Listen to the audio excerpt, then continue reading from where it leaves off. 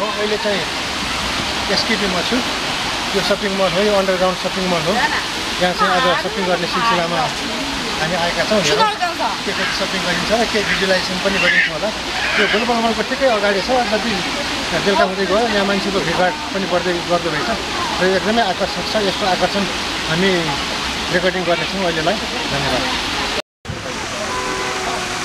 म अहिले एसकेपीमा छु। त्यो एउटा सपिङ मल हो यसको सिम्बलको रूपमा यहाँ राखिएको छ यहाँ चाहिँ फुलहरू छ यसको ठिक्कै अपोजिट साइडमा त्यो ग्लोबल सेन्टर छ झन्डै झन्डै क्यामेराको साइजमा नआउन पनि खोजिराखेको छ यसले र आज हामी चाहिँ यो एसकेपीमा के अरे भएका महत्त्वपूर्ण सिनेरीहरू क्याप्चर गर्ने प्रोसेसमा छौँ यहाँ पानीको फोहराहरू खसिराखेको छ।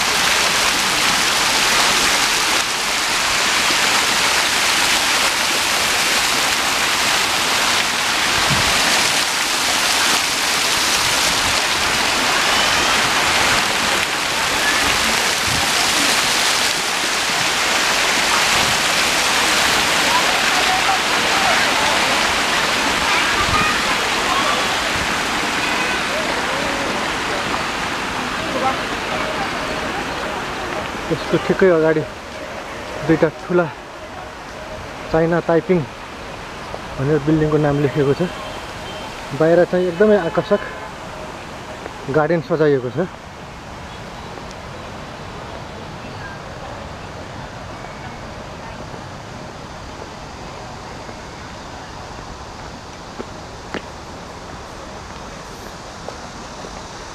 यो साँझ पर्दै गर्दा यहाँ चाहिँ बत्ती लाइटनिङको अवस्था पनि वृद्धि हुँदै गइराखेको छ।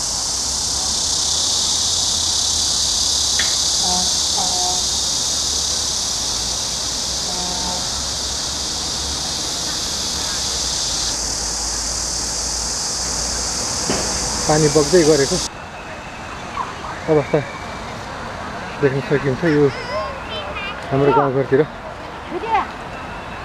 खेतमा भरिएको जस्तो अवस्थामा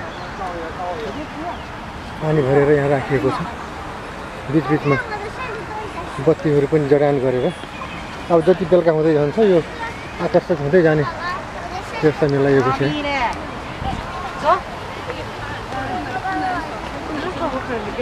सबैभन्दा बढी त गार्डन आकर्षक बनाइएको छ।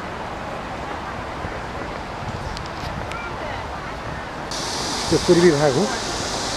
पूर्वी भागमा पनि एकदमै गार्डन सजाएर राखेको अवस्थामा छ।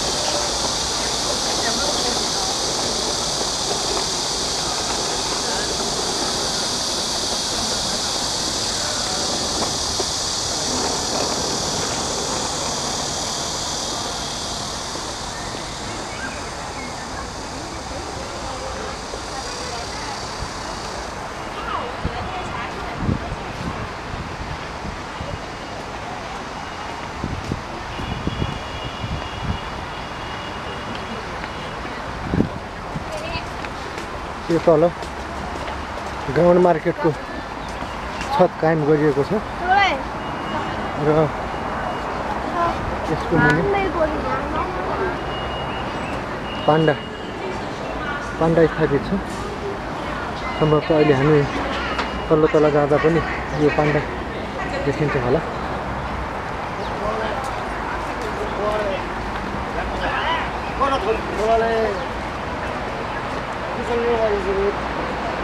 यो पनि सपिङ मलको ग्राउन्ड फ्लोर हो।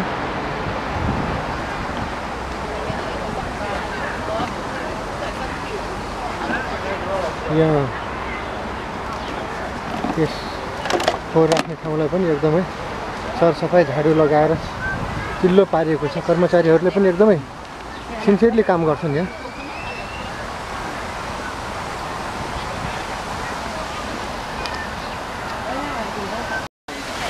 यहाँ छवटा पिलरहरू छन्।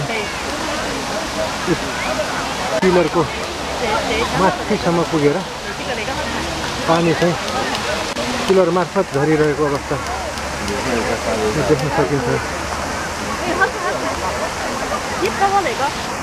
र विभिन्न जोइन्टहरूमा बत्तीहरू जडान गर्दाखेरि झनै आकर्षक बनाएको अवस्था देख्न सकिन्छ। 还有也有一点点。他手机个带的。 यो पहिलो तलाको आकर्षण हो यो एसकेपीको म योभन्दा पनि तल्लो तलामा पुग्छु यहाँ चाहिँ एलिभेटरहरू लागेको छ म यहाँबाट दोस्रो तलामा जाँदैछु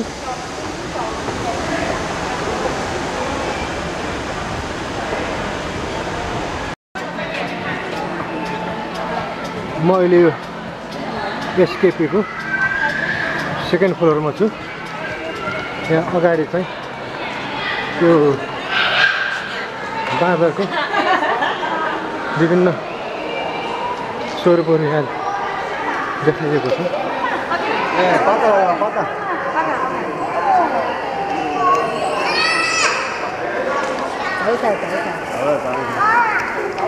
केही बसेको अवस्थामा छ।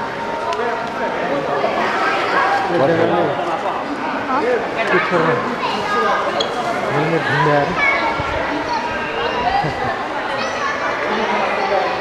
मुख एकदमै चुच्चो पारेको अवस्था छ यसले चाहिँ बेला बेला मुख खोल्छ नाक खुम्च्याउँछ मुख बन्द गर्छ अर्को यहाँ उपर खुट्टी हालेर खुट्टा चलाउँदै पुरा हिपअप पाराले बसेको छ अर्को यता छ यो पनि पुरा रिल्याक्सिङ पाराले बसेको अवस्थामा छ यो म यो ग्राउन्ड फ्लोरको दोस्रो तल्लामा छु।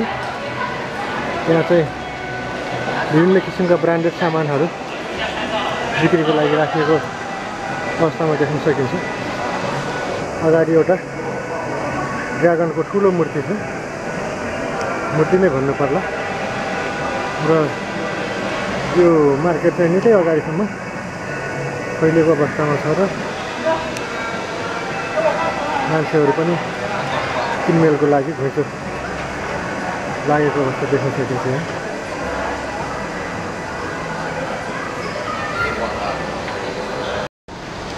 त्यो एसकेपीको चाहिँ यो पहिलो ग्राउन्ड फ्लोर हो यो। यहाँ चाहिँ पुरै भित्ताभरिमा अ, पानी बसिराखेको छ। माथि चाहिँ छतमा पानी सङ्कलन गरेर राखिएको छ। त्यो पानी चाहिँ त्यो सिसा मार्फत तल झारिएर एकदमै आकर्षक बनाइएको छ।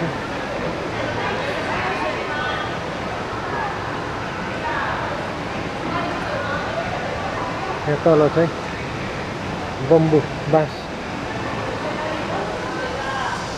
रोपिएको छ यो चाहिँ यो एसकेपीको सिम्बल हो नजिकबाट यसरी देखियो र यो पानी बर्सेकोलाई चाहिँ हामीले नजिकैबाट अनुभूति गर्नु पर्दाखेरि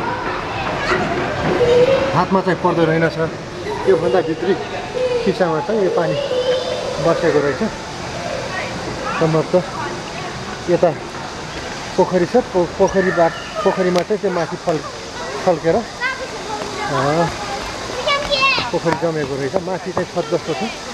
त्यो छतमा चाहिँ पानी सङ्कलित पनि छ। बाँकी यता उत्तरतिरको दृश्य चाहिँ यस्तो देखिएको छ?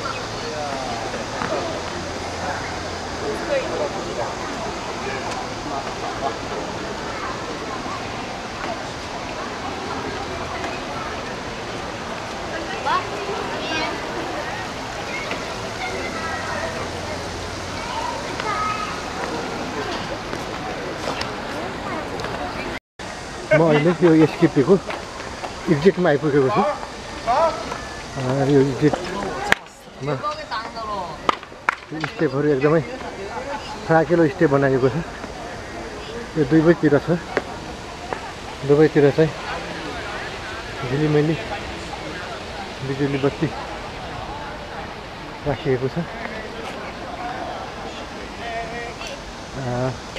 रात पर्दै जाँदा यसको आकर्षण पनि बढ्दै जान्छ।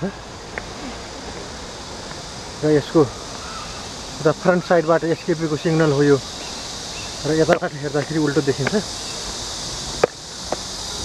यसमा पनि के अरे लाइटनिङको व्यवस्था गरेको हुँदा। यसको आकर्षण पनि रात पर्दै जाँदा बढ्दै गएको अवस्था छ।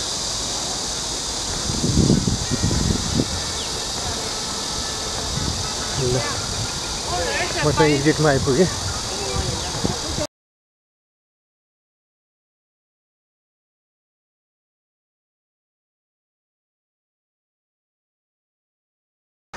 एसकेपी भन्दा बाहिर आउँदा यो चाइनाको दृश्य चाहिँ अद्भुत। लाग्यो यो दृश्य। त्यसैले यो दृश्य चाहिँ क्याप्चर गर्न मन लाग्यो। एकदमै आकर्षक देखियो बेलुकातिरको यो लाइटनिङ बढ्दै जाँदाखेरि। यो सिटी चाहिँ अगाडि पार्क छ। पार्क पछाडि सिटी छ। र व्यवस्थित तरिकाले सिटी स्थापना गरेको हुनाले यहाँ चाहिँ वातावरण प्लस निर्माणको चाहिँ सङ्गम कायम गरिएको छ